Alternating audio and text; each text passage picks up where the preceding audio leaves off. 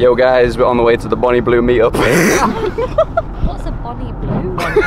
Only joking, guys. We were actually on the way to the Lily Phillips link up. Haha. okay, let's get serious. Today's hair loss topic is how to use tretinoin to potentially dramatically increase the effects of minoxidil for regrowing your hair. If you're a guy going through male pattern baldness, which you probably are if you're watching my videos. And yeah, we're going to discuss this topic while simultaneously showing you my life rather than me just sitting in my room on a chair talking at you. also, look at this. There was like these 12 year old kids, right? Me and my friends were at a bowling alley. These 12 year olds dropping some serious game. I my guard up. and my friend Izzy, we call her, we call her Isabel. The kids next to us put that as their name on the bowling board score charts. Serious game, guys, serious game. All right, anyway, back into the topic of today. So obviously minoxidil is not gonna stop your hair loss by itself, guys. I've covered this in many other videos. You're gonna need to be on a 5-alpha reductase inhibitor like finasteride or dutasteride. This is gonna deal with the most important part of male pattern baldness, which is hormones. But that is not the topic of today. We are talking about minoxidil. Even though minoxidil is not going to stop your hair loss by itself, it is still an awesome treatment. While finasteride or dutasteride are dealing with the hormonal side of hair loss and basically stopping it in its tracks, minoxidil is a great addition alongside these because it's a potassium channel opener, which basically means that it stimulates hair growth, keeping your hairs in their growing phase for longer and spending less time resting and shedding. But as I said, minoxidil by itself doesn't grow hair. Alright, so stay with me here, boys. Essentially, minoxidil needs to be converted into its active form, minoxidil sulfate. Then, when minoxidil sulfate interacts with your hair follicles, they start to regrow. So, you might ask, if this is the case, then why the hell would you not just use minoxidil sulfate in the first place, right? Well, this study shows that minoxidil sulfate isn't very stable, and this basically means it could just go off and not work properly. Hence why we have these 5%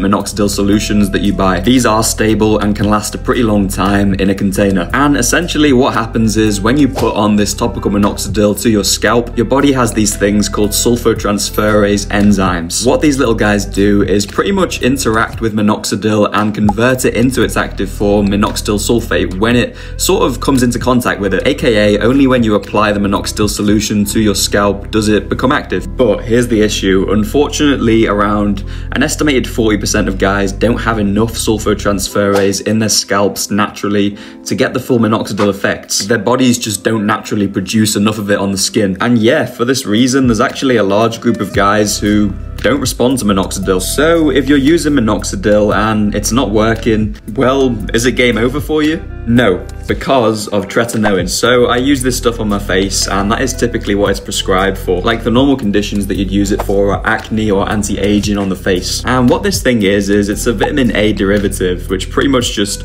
turns skin cells over faster and makes you look good. Like it literally brings out that fresh new layer of skin that's hiding beneath the crusty top layer. All right, but what's that got to do with hair growth? So this was the first study on tretinoin for hair loss. This was in 1986, which is literally ages ago. Like people didn't even know that much about hair loss at this time in the scientific community. But that being said, this study had three groups. One had both minoxidil and tretinoin, one had just tretinoin, and the last one was a placebo with no medication. The interesting thing with this study was that they only used around a tenth of today's standard minoxidil dose and a relatively low dose of tretinoin, 0.025%. However, the group with both tretinoin and minoxidil still had fairly decent improvements in the hair growth, and the group with only tretinoin did have a little bit of improvement, whereas the placebo had none. Well, hello guys. Thought I would uh, hop in quickly in the middle of the video to uh, to say hi. I hope I'm explaining today's topic well and you're enjoying the video. But yeah, just thought I'd give you a little update. I started filming this uh, these clips a little while back, and it is now Boxing Day, and I am back home in uh, in my hometown of Liverpool or the Wirral, more specifically. But it's been a good year been a good year, guys. I've uh, I've been really enjoying making these videos. Obviously, YouTube isn't as big as Instagram, TikTok. We've had the most growth on there, but yeah, I just wanted to say a big thank you to you all for uh, all the support because it's really uh, really changed my life over over this past year. So yeah, I just wanted to hop on quickly and say just thank you all because uh, it's been great. So um, any more topics that you want me to cover, I'm planning on making a lot more YouTube videos this year as well and putting a bit more effort into it. So any of the questions that you want asked, hair loss, men's health, anything to do with that, more about me. I uh, I'd like to get to know you guys more and for you to know more about me. Drop them in the comments because there's gonna be plenty more videos coming. But yeah, anyway, thank you guys for all the love and support as always. And back to the video. Alright, now interval 1 plus physique update is done. Let's get back to the topic. So at the time of that previous study, the researchers believed that minoxidil and tretinoin worked better together because tretinoin made the skin more absorbent to solutions. And this belief was further consolidated a little bit further down the line in this study which used 2% minoxidil, which is still lower than the standard 5% dose that you'd get today. And they combined this with tretinoin, a higher dose of 0.05%. Now your skin has this outer layer which is basically a barrier to stop stuff getting in. And this study found that tretinoin helps solutions pass through it a little bit easier. And when I say a little bit easier, it was actually three times more minoxidil being absorbed through the skin barrier when it was combined with tretinoin as compared to just minoxidil by itself. Now to effectively get topical solutions to the hair follicle, you're gonna need to go typically around one millimeter below the surface of the skin, depending how thick your skin is. So by actually increasing how permeable your skin is with tretinoin, this could be really handy. And all of these studies so far use minoxidil twice a day, guys, which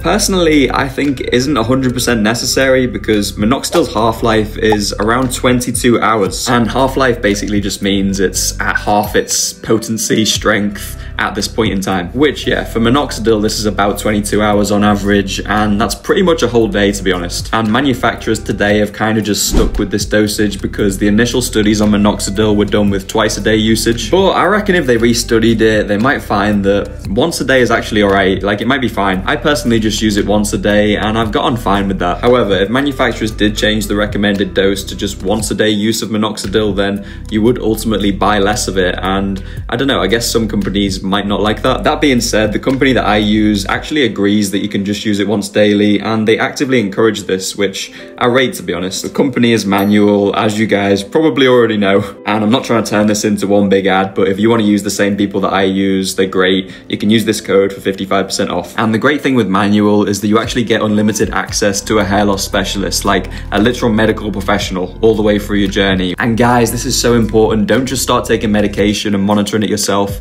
Have a doctor on board with you, okay? Anyway, still on that topic, another benefit of adding in tretinoin to minoxidil is shown in this study, which found that when comparing minoxidil by itself twice a day with minoxidil combined with tretinoin at a low dose of 0.01% just once a day, they got the same results, which is probably music to a lot of guys' ears because applying it twice a day can be inconvenient for a lot of people if you're out and about in the public during the day. All right, guys, that is the end of the trip home. Literally gonna go and get one more gym session now at this gym gym, Empowered Fit. It's uh, probably the best gym I've ever been to, to be honest. Uh, so if anybody from Empowered Fit is watching, this is a uh, a big well done because it's a uh, pretty amazing gym. Anyway, I'm gonna go and hit legs, I think, which might be a really bad idea because I'm about to drive around four to five hours back to London now uh, from Liverpool. So might be a pretty shit idea, but oh well, need to train legs because my sister told me that my legs are becoming a little bit too out of proportion with my upper body. So I need to uh,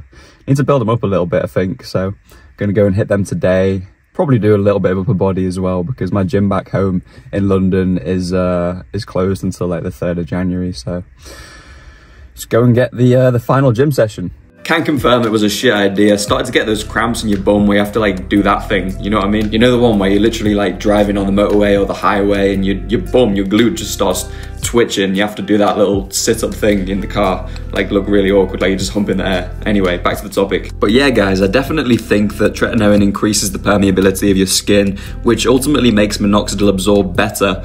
But the main reason that it works so well goes back to the sulfotransferase part of the equation. This study basically found that guys who, as I explained earlier, are non-responders to minoxidil because they don't naturally produce enough sulfotransferase. These guys were tested before using tretinoin and then five days after. And the amazing thing here, guys, is that after only five days, the sulfotransferase had dramatically increased. And yeah, that's literally after just five days, guys. And in theory, this could literally turn someone who doesn't respond to minoxidil into a responder, making the treatment work. Now, what I believe is going on here is that the minoxidil is reacting better with the increased sulfotransferase levels, which then turns minoxidil into its active form, minoxidil sulfate. Now, both of these have a pretty similar Dalton rating, and a Dalton rating is basically how absorbent something is, like a topical treatment, how well it seeps into your skin. That's why a lot of topical dutasteride aren't as effective as topical finasterides, because dutasteride is actually above the 500 Dalton rule, which makes it harder to absorb. But anyway, I'm going off on a bit of a tangent there, guys. All right, one last interlude, guys, because Past Gilly wants to talk to you one more time. And then I will finish covering up this topic.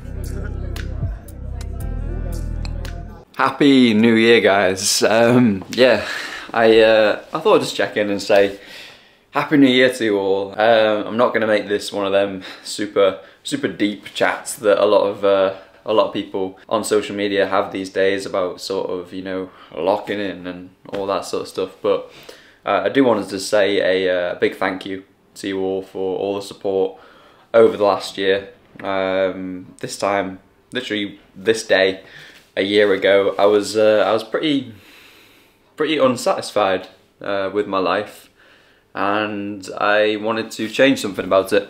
And so I started you know, posting these videos. YouTube hasn't blown up quite as much, but TikTok and Instagram in particular have uh, really changed my life. So just want to say like, guys, first of all, if you're working a nine to five and you enjoy it, that's amazing. Like a lot of people shit on nine to fives that they're not a bad thing. Like if you have a nine to five that you enjoy and you, you know, you're happy, then that's amazing. Like you literally know when your working hours are. You get there at nine you work till five and then your day is over. That is, that's great.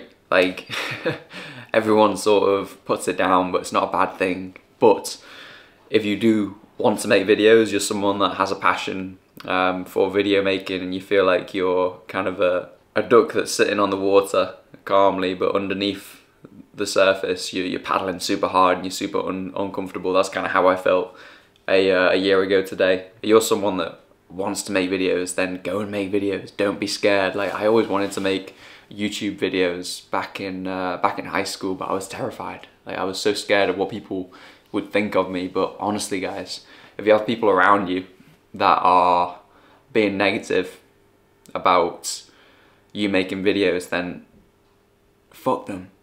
Literally fuck them. Like they don't matter and finding that out sooner rather than later will probably serve you more than it will uh, put you down. So yeah if you if you're thinking about making videos go and do it. I didn't, I didn't want to make this video like something super motivational and you know cop I didn't want to make a video like this. But if you're feeling like that go and do it because it's changed my life guys. And um, yeah thank you for doing that because without you it wouldn't have happened. So yeah thank you I hope you all have a wonderful 2025. But yeah, off to the pub now, guys. Gonna go meet my friends, meet the gang. Uh, maybe there'll be some some single some single mums, some local milfs nearby. Uh, maybe the ads will be correct, maybe not. Soon find out. Okay, goodbye. Have a good 2025, guys. Don't forget to like, subscribe, share as always, and yeah, lots of love. Goodbye. See you in the next video. Wow, wow, wow, how inspirational from past Tom. I hope you guys are all feeling super inspired. Anyway, one thing I did want to add to this topic, guys, is that more research is needed. And also, I'm not a doctor, I'm just a guy going over the research. However, these studies that I've talked about are solid, like they're quality studies, none of the, uh, none of the shitty bias ones that you can find a lot of the time. But all that being said, I used tretinoin myself and it helped a ton specifically for my hairline. I literally just mix it with some moisturizer, apply it like all over my face and my hairline, and then a couple hours later, I'll add in the minoxidil, obviously only on my hairline, I'm not putting that on like all over my face. Although you can put it on your beard and it does do a pretty good job. Men's hair loss and fitness. It's sick. I don't know if you've ever heard of it before. Way over What? That's crazy. Make sure you subscribe. Hit that button down there. Guys, Izzy's got a quote for you. What is it? When life gives you a million reasons to just cry and want to be frustrated and sad, just think of all the reasons that you have to smile and laugh. There's more good in the world than there is sadness, and we have so many reasons to be happy, and you just have to think of those when you have the sad times.